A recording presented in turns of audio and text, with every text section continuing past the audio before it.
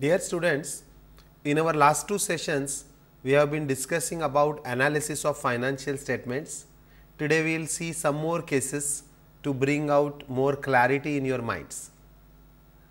As you all know, financial statements depict the basic information about the entity. Do you remember what are the major financial statements? One is profit and loss account. It gives you the position of profitability, stating the incomes and expenses during a particular period. The second important statement is balance sheet.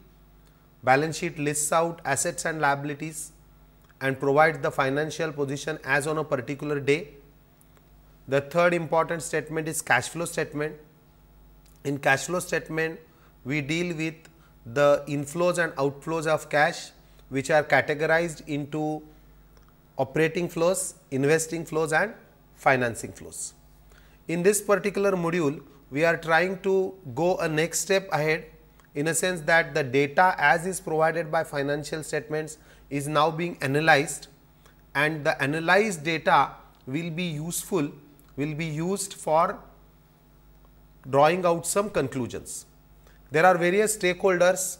For example, owners may be interested in profitability, bankers may be interested in knowing whether they will receive their interest, creditors may be interested in knowing whether their payment will be received in time. Like that, from the viewpoint of various stakeholders, we have to gather the relevant data from the financial statement and that could be defined as analysis of financial statement. In this particular module, we are going to uh, see some more cases. Last time we have seen one case on ratios. Let us today look at two more cases involving all the three types of analysis horizontal, vertical as well as ratios. Uh, I hope you remember now what are the types of ratios. In our last session, we have discussed the various types of ratios which include the ratios of profitability, the ratios which are related to return and also the ratios which tell you about liquidity and long term solvency or the capital structure. Okay. Now, let us go to the cases. Of course, before going to the cases, you should have clarity about how to calculate those ratios. If you have still not learned them, I will advise you to look at the various formulas for example, here you are being shown there is a liquidity ratio, the most popular ratio is current ratio, the formula is current assets upon current liabilities. Now, I won't repeat all the ratios, we have learnt about 15, 16 ratios in our last session. Actually, there can be hundreds of ratios because ratio, ratio is essentially a relationship between one item versus another item. So, you can link any item to any other item but there are certain ratios which are important like in profitability there is net profit ratio, in return ratios there is ROI that is return on investment or ROCE.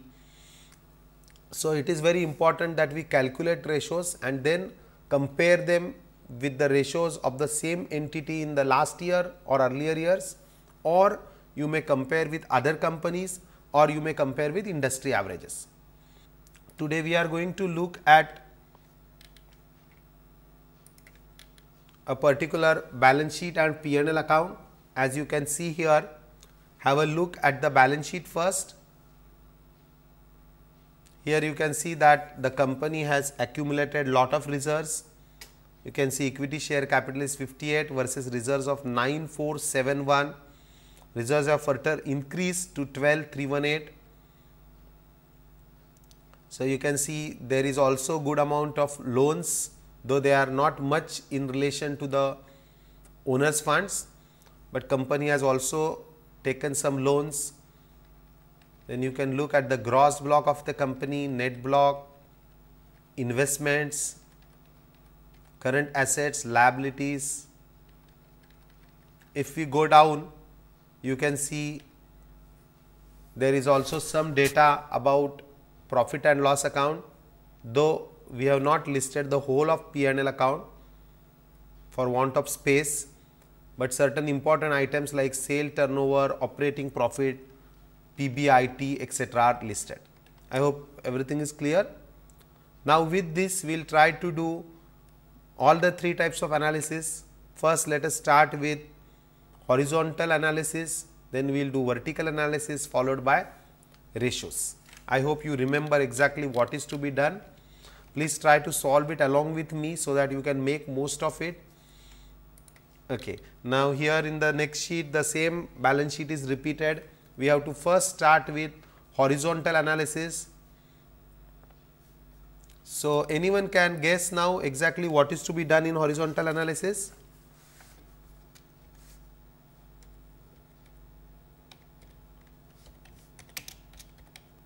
which is the statement that is made in horizontal analysis anyone can tell me yeah you are right in horizontal analysis we make a comparative balance sheet or a comparative P&L account so let us make a comparative statement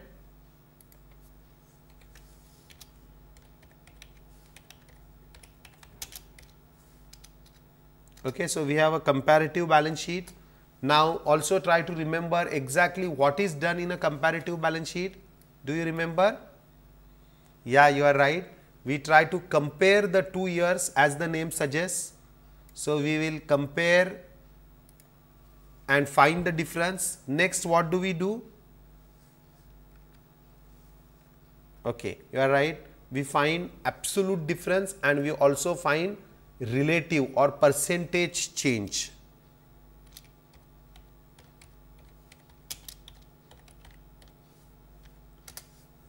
So, here you have absolute change and in the next column we are going to have percentage change. So, in percentage change we try to calculate the change with respect to the base year figures. This is the data for March 2008-9 for a real company. I am not going to tell what is the name of the company. Uh, I request you to guess. If you have some knowledge about different businesses, you can guess towards the end I will tell you exactly which company we were referring to. Okay, so you can see that uh, each of the items there is some change. So, equity capital has nearly doubled from 58 to 117. So, absolute change is 117 minus 58. So, it 59 is a change. If you drag it down then for all these years you will realize that most of the items have increased except revaluation reserves. You can also see that I will just rename this, this is total sources. Uh, you can uh, not really understand exactly whether the difference is much more or less. It is better to find in percentage terms. So, we will relate this 59 as a factor of the base year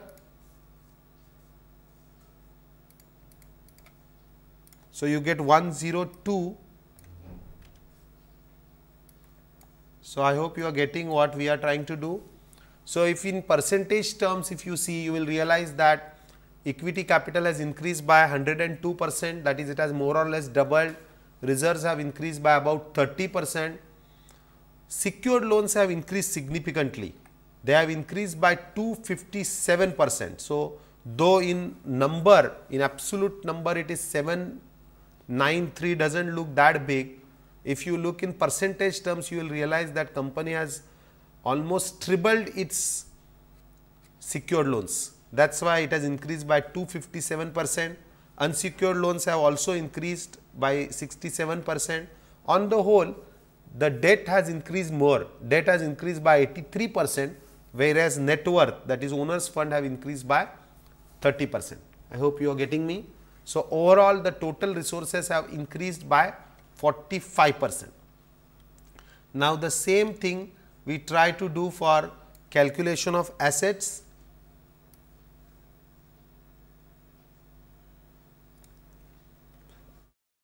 So, now it was simple I have copied and we have calculated the absolute differences between the two years and also the percentage change. So, what do you observe now?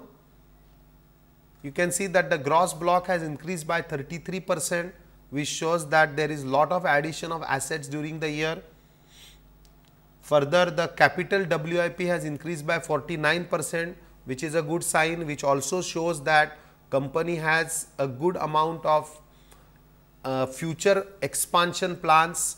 These are the assets under construction. They also have increased. Fixed deposits you can see have gone down. Maybe the company has used that money for some investments.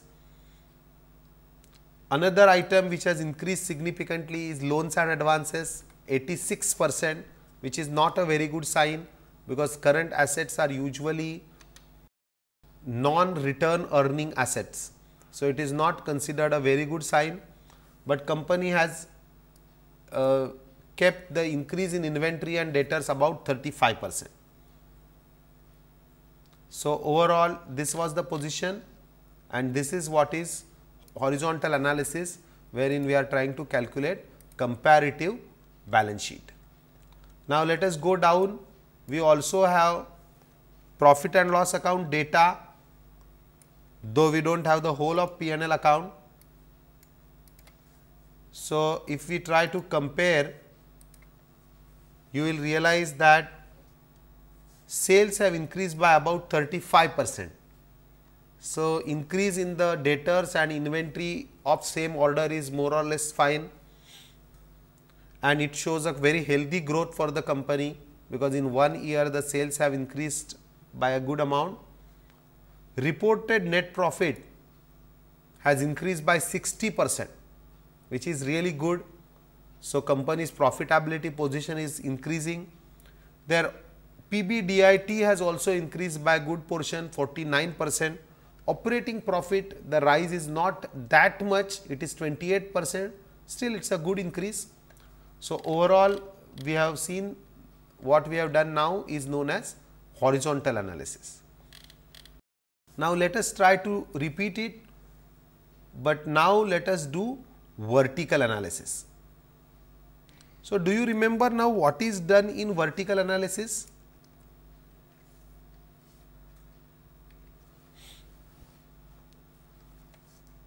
So, which statement is prepared in vertical analysis? Just try to remember we have discussed it in our earlier sessions.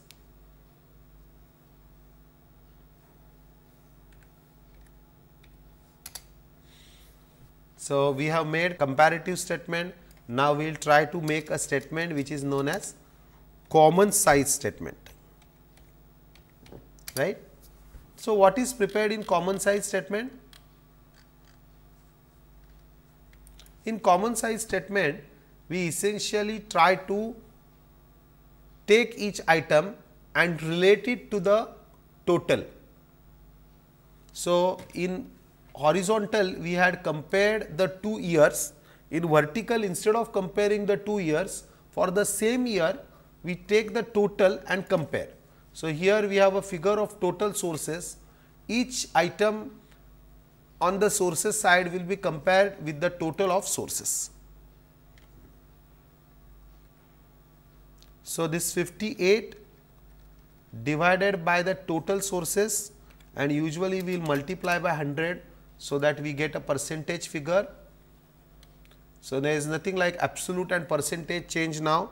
Instead of that, we will simply have percentage figures for both the years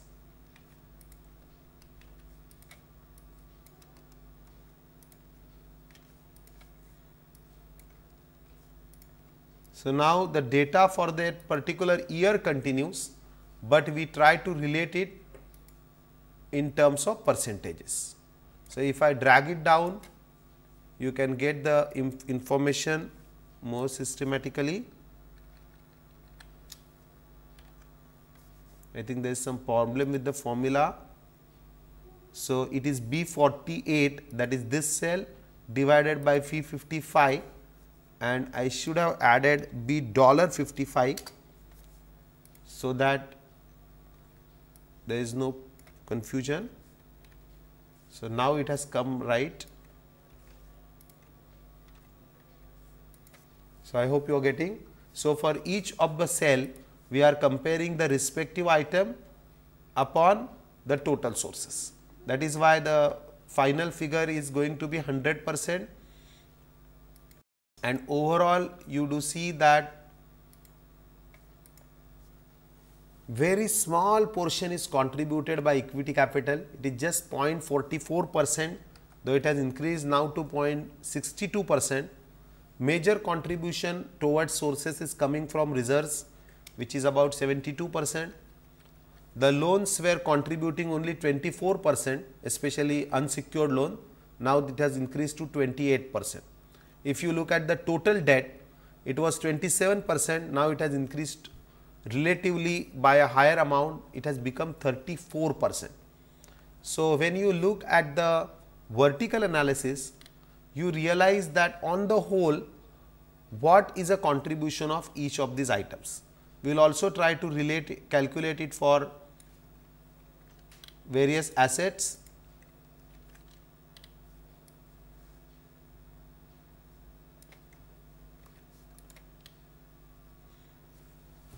So, now you can see it I hope you are able to get what has been done each of the item we are dividing by the total. So, 4189 upon 13319 which is the total of sources and also total of applications.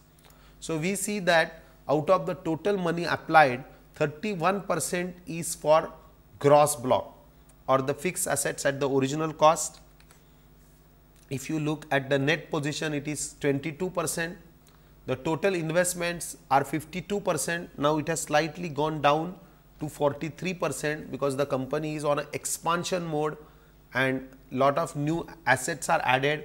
You can see that portion of inventory has gone down, but portion of sundry debtors remains quite huge.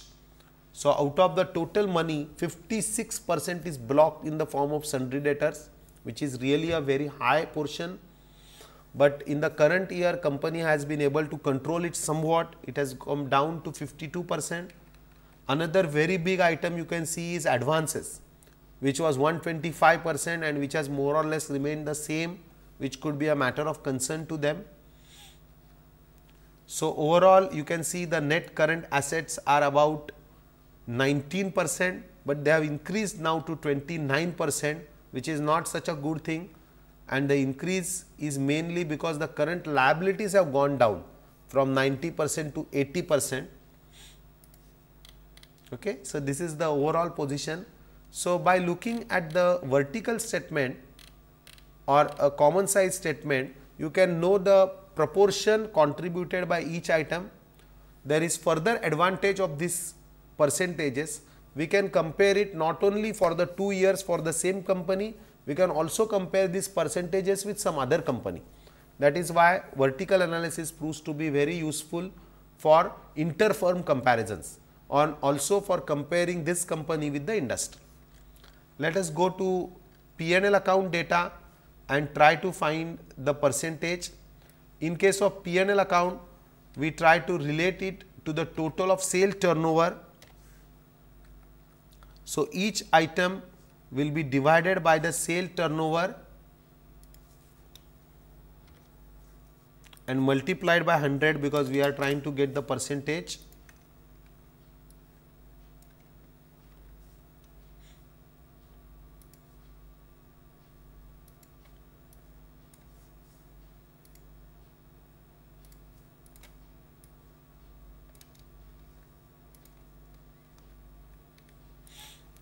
So, it is clear. So, total sales is 100 percent, operating profit becomes 12 percent, it has slightly gone down from 12.81 to 12.09, PBDIT is around 15 percent, PBDT that is profit before depreciation tax which is also known as cash profit has slightly increased from 13.27 to 14.55 final net profit or reported net profit as is known as profit after tax it's also that is also used for it has increased from 8.6 to 10.17 which is a good rise okay? So i hope once again now there is a clarity on horizontal and vertical analysis. Now let us go ahead and try to calculate the ratios. Okay? So what are the important ratios we had seen ratios under 3 4 categories. First we had seen liquidity ratios which I have tried to put here because they have some linkages with the current as, uh, with the current assets and liabilities. We had also seen ratios which focus on profitability, returns, stability and so on. Let us try to calculate each of these ratios. The first ratio as you can see is uh, we will go in the sequence in which we had gone earlier. For liquidity one of the important ratios is current ratio. So, for calculation of current ratio the formula used is CA upon CL that is current assets divided by current liabilities. So, what are the current assets? Just have a look at the balance sheet carefully. So, which items will you include in current assets? Will include inventories, debtors, fixed assets, uh, cash, loans and advances. In fact, total is already given.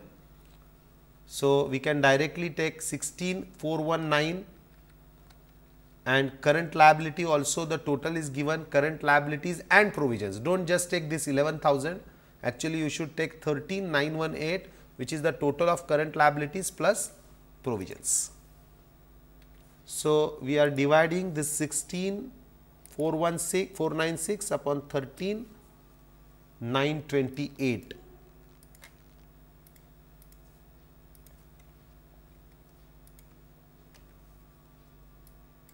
So, I hope there is a clarity. So, what do you see? You can see that the ratio which was 1.18 has slightly increased to 1.30 which is a good sign. I already written it is there is an increase. What does it show? Increase shows some improvement in the liquidity position of the company.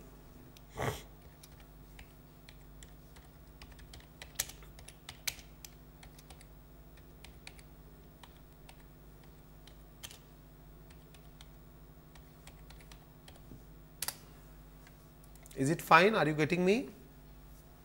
Okay, we will just try to see the remark which I have written. There is a improvement in the liquidity position of the company. I will just change the font to make it more clear. Is it okay? okay. Now, uh, what is the next ratio in the same category that is the liquidity category?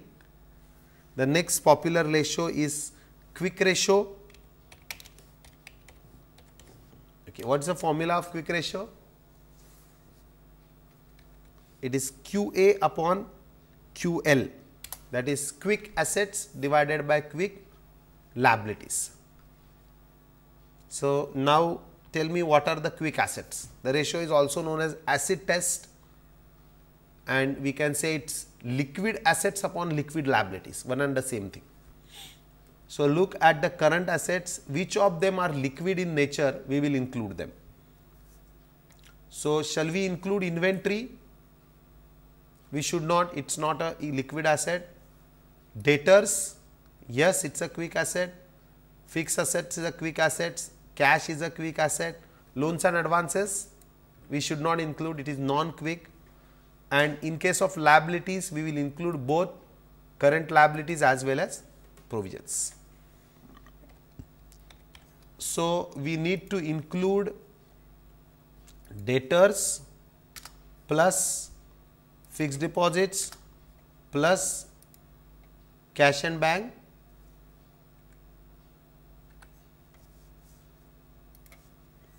divided by the total current liabilities. There is no need to multiply it by 100 you exactly get ratio as equal to 1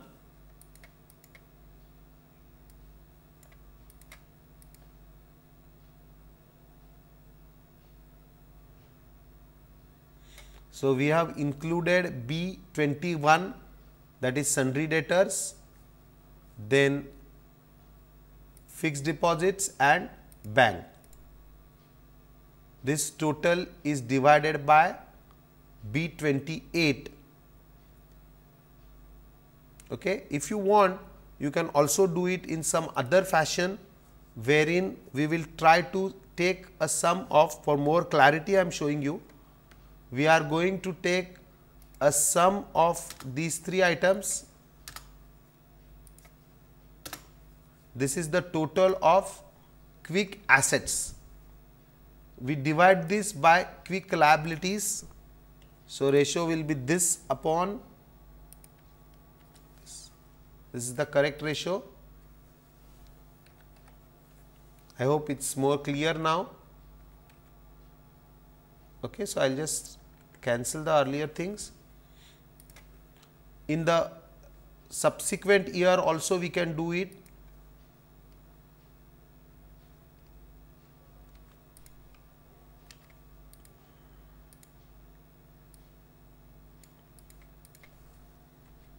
I'll just redo it.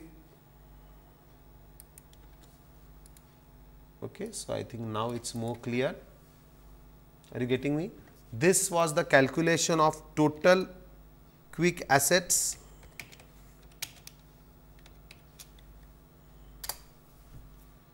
Okay and the ratio you get is 0.58 and 0.59 so what do you get from the ratio?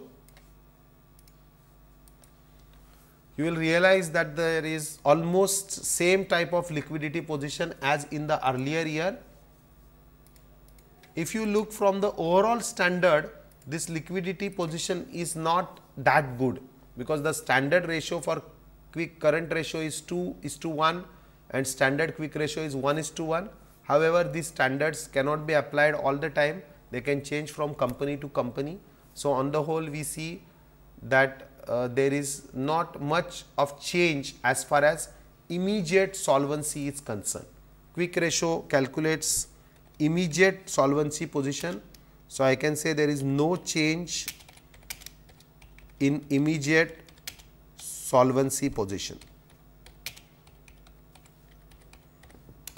Okay? Just see the remark which I have written, no change in the immediate solvency position.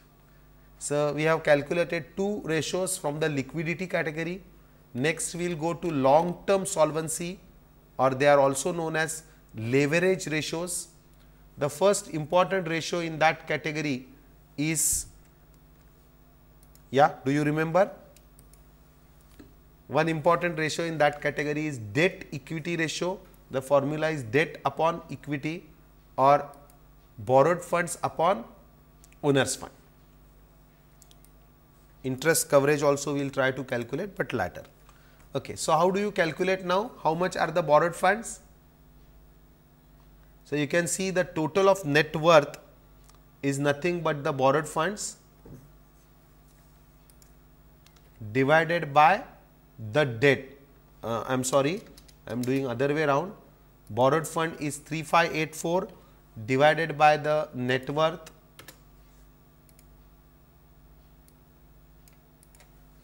So, earlier 0.37 was the contribution of borrowed fund versus owner fund. Now, it has slightly increased, it has somewhat increased to 0.52. So, it shows that now the company's reliance on the borrowed fund has increased, which is not that healthy sign from a long term solvency viewpoint, but still substantial chunk being contributed by equity, there is no risk to the health of the company.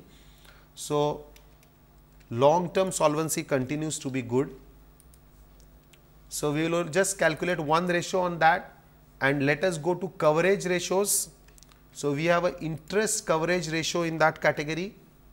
So, you know the formula it is PBIT upon interest. We have to go down look at the P&L data we know the profit before interest and tax. So, it has not been straight away given, but we have been given PBT and interest. So, using these two we can calculate PBIT. Are you getting me? So, PBT is 3511, interest is 502 to total is 3657 this is the profit which is available for paying interest. If you divide it by interest, you get the interest coverage ratio. This shows how many times the interest is covered by the available profits. So, let us try to calculate it is PBIT divided by interest. So, 7.28 which is a very very healthy figure that means company has 7 times more earnings in terms of PBIT which can be used to pay the interest. In the current year it has slightly gone down, but still it is a very healthy sign. So, I can say there is sufficient coverage particularly bankers and lenders will be very much interested in knowing the liquidity uh, the interest uh, co coverage ratio of the company. Before sanctioning any loan, any bank or institution will look at the interest coverage ratio of the company and also of the project. So, we have seen liquidity ratios, now we have also seen leverage ratios and the interest coverage ratio. Now, let us go to profitability ratios. There are various profitability ratios I have written here. One is EBITDA or PBDIT as it is commonly known as. This is the profit before depreciation, interest and tax. In other words, it's, it's also known as cash profit so, how much percentage of your profit is the total sales? Is all the profitability ratios calculated? There are three popularity ratios, popular ratios. One is EBITDA percent, next can be operating profit margin and net profit margin. We will try to calculate all three of them. So, EBITDA is EBITDA upon sales and always it is into 100 so, you can see here the position of PBDIT is given divided by sales and we will multiply by 100. So, 15 percent and in the current year the ratio has improved to 17 percent. I think we will slightly take it up and we will also try to calculate operating profit.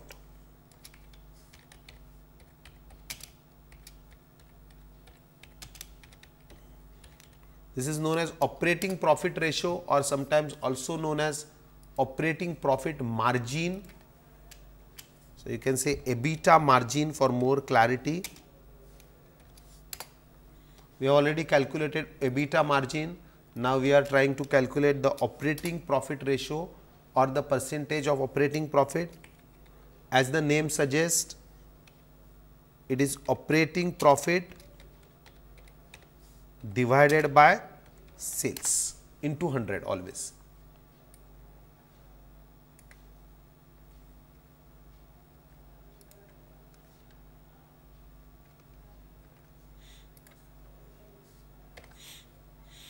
Okay. So, operating profit is available divided by sales in 200. I will try to redo it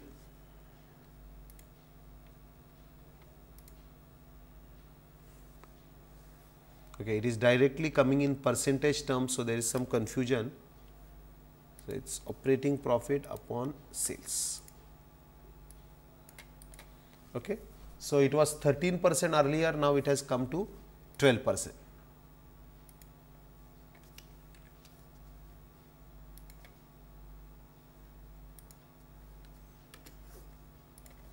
I am trying to change it to percentage format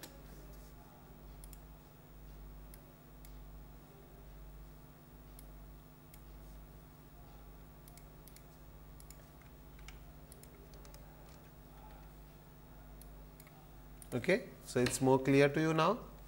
Now, let us go to third ratio that is known as NPM or net profit margin. So, what does it calculate? The net profit divided by sales. I have already written the formula NPAT upon sales.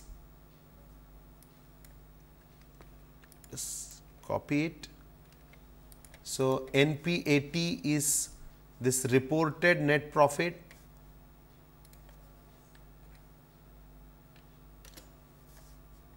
So, B 43 upon B 36. So, it is 9 percent and in the current year it has increased to 10 percent. If you look at all the three ratios, you will see that there is a uh, increase in EBITDA margin, good increase from 15 to 17, net profit ratio is more or less maintained. So, in absolute terms, you feel that there is an increase in net profit substantially from 2173 to 3482. But if you look at ratios, you will realize that more or less the margin is maintained. Okay. So, increase in the profitability is largely because company could increase its turnover. As such, the profitability has remained almost constant. This insight you can get if you look at the ratios carefully. Operating profit margin has slightly gone down, though in total totality the profits have substantially increased again due to increases in the turnover. Okay, now let us go to return ratios. In return ratios, the first important ratio is ROCE or ROI. The formula is PBIT upon capital employed. This is the total money which is earned on the capital employed.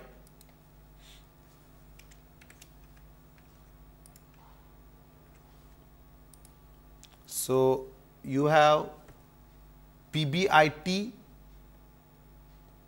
which is 3657 divided by capital employed we have to go up go to the balance sheet you can see there is a total of sources given that becomes capital employed okay instead of total liabilities let us call it total sources because we are not including current liabilities. In total sources, we are only including net worth and total debt. Are you getting me? So, total sources were 13139, now they are 19016. Look at the return which is generated, it has more or less remained constant 28 to 29. So, again we were assuming that there is a substantial increase in profit, but if you look at from a return viewpoint, since the company's investment or the capital employed has also increased, the return remains more or less same. Next is RONW or return on net worth or return on equity or is called formula is PAT upon net worth. Here we are trying to look from the viewpoint of the owners. So, profit after tax is the profit which owners earn divided by the net worth of the owners. So, I am just copying and then let us go and try to calculate the correct formula. So, PAT you have this reported net profit divided by net worth or the owner's fund. So, 23 percent and in the current year there is a significant increase it has become 28 percent. So, you can see that though the profit at ROCE level is more or less constant, the reported net profit or the PN profit after tax has increased substantially. So, there is an increase in ROE. Now, the last ratio in this category that is return is EPS earning per share formula is also given you can see here it is PAT divided by number of equity shares. So, how will you calculate number of equity shares? Actually, it is not given anywhere but since you know the equity share capital, if you assume that each share is worth 1 rupee, we can take the same amount as the number of equity shares.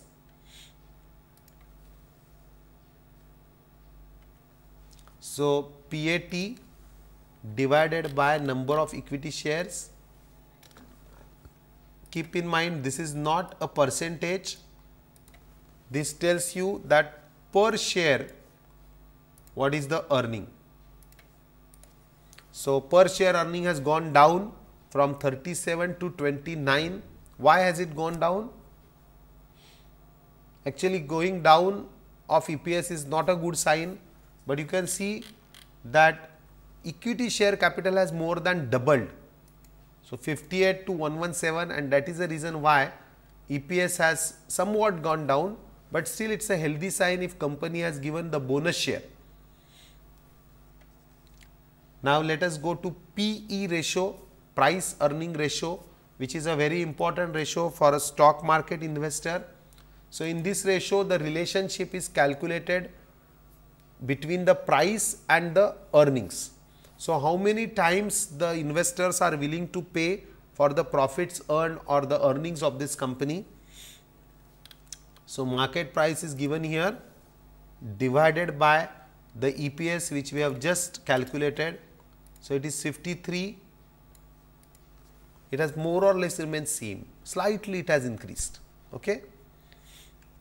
We have done three types of ratios. Initially, we started with liquidity, then we looked at long term solvency that is debt equity or leverage.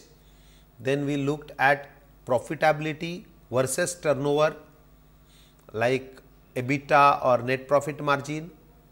Next we have seen return ratios which calculate profitability versus the capital employed.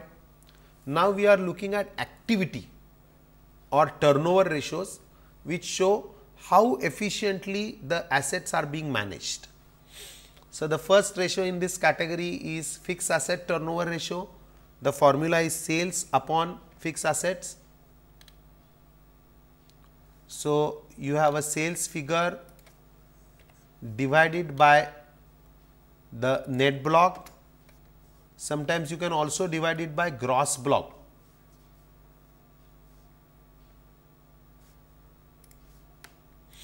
Again this is not a percentage, it is in terms of number of times.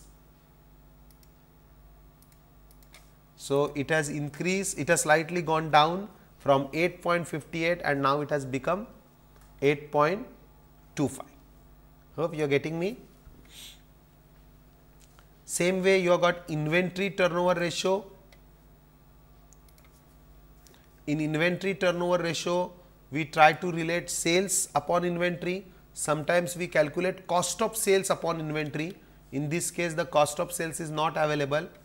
So, we will try to calculate the sales upon inventory.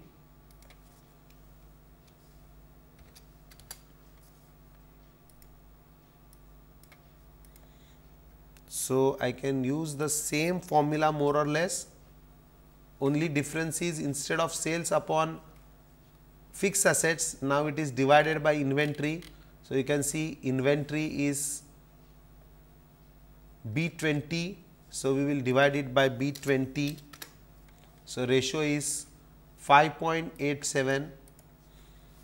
There is some increase. It has now become 5.90. Though it is a small increase, it shows a good sign. It shows that there is an improvement in the utilization of inventories.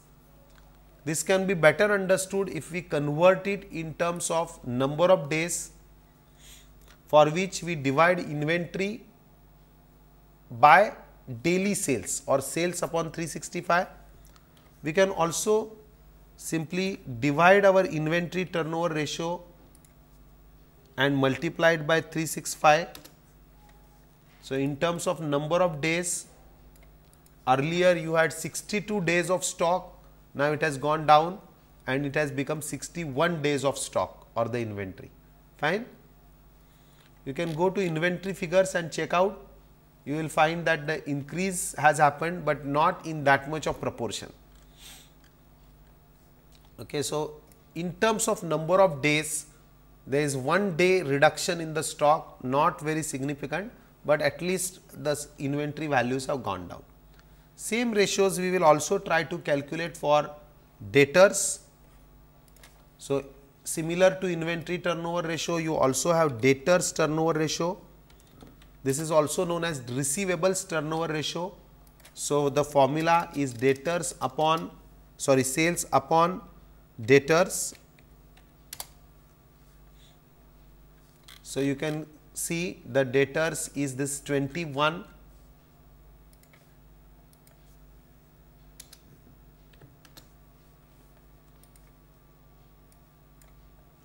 So, 3.43 the ratio is really very low. It has further gone down to 3.41. In terms of number of days, they have 106 days of receivables which have further increased to 107. Does not show very good collection record. Of course, it changes from industry to industry. So, here we were trying to calculate various turnover ratios. So, I hope now you have understood various types of ratios. Okay. So, we will uh, stop here and we will go for the next case now. Please have a look at all the ratios once again. Could you guess what is the company? Or could you at least guess is it a manufacturing company or a service company? I think you can guess that it is a manufacturing company because it holds good amount of inventory and it also has a large amount of fixed assets which may not be the case for a IT company. So, this was the these are the figures of uh, Larsen and Toubro which have been somewhat adapted to make it easy. Okay, now this is a balance sheet of some other company. Try to have a look at it. And this is a profit and loss account. We will try to do the similar type of analysis. First, let us look at horizontal analysis. Okay, look at the balance sheet once again. We will go for horizontal analysis I have already made it ready to save time, but have a look at it carefully. So, there are two figures absolute difference and percentage difference. In absolute difference, we were trying to calculate the change between the two years. So, 295 minus 197 you get 97.86 and it has been converted in percentage terms at 49 percent. I hope everyone is clear what this statement is known as? This is known as a comparative statement or a comparative balance sheet. I will try to give the name to it. Okay. Now, look at each of this figure carefully. If you just look at the balance sheet, you may not understand exactly what are the items which are changing. This gives a better picture because now you understand which items have changed and how much the change contributes to. So, what do you see? Have a look at each of these items. Equity shares, share capital has increased by 100 percent. So, it has doubled. There is no change in the preference capital. So, total share capital nearly 50 percent increase there was in absolute terms substantial increase in the reserves 15712 crores, but in percentage terms it is only 12 percent. There are almost no secured unsecured loans, so changes are negligible. Go to the application of funds. In the applications, the first item is gross block. So, you will realize that again there is a 12 percent increase in the gross block. The depreciation provision has increased much more. So, net block has increased only by 3 percent. Capital work in progress has increased by 255. It is a significant increase in percentage terms you can also see investments have gone up by 1957 which is 33 percent. So, company has lot of surplus funds which it has invested. Go down. So, you will observe that there is a major decrease in the sundry debtors. So, 10 percent decrease in the sundry debtors which is a good sign if company is able to recover its earlier money. Same thing cash balance has slightly increased. If you look at provisions, provisions have increased hefty increase 2476 crores or 171 percent increase in provision. So, this is the overall position of the company I hope there is a clarity. So, in the next session we will try to go in for I will just finish it. Okay. So, totally the company has increased by 20 percent 21 percent. So, same sum we will continue in the next session. So, we are looking at a case we have started with the horizontal analysis, we will look at vertical analysis and also go for the ratios of the same. So, I will request you to uh, somewhat brush up your ratios because that is a very important tool and if you try to look at various ratios and various relationships you will get really lot of insights into the raw data in the form of P&L and balance sheet. Thank you so much. We will meet in the next session.